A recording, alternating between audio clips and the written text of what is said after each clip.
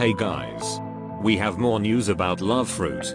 Maybe we will get update really soon, because they keep showing new stuff about this fruit. Anyway, this is about new skill called Besto Friendo. With this skill you will be able to spawn NPC to fight for you, or with this skill you will turn NPCs into allies. Indra tweeted this. Do you think this skill is cool? I think this fruit getting better and better. Also guys, don't forget to subscribe to Roll Leopard. No cap.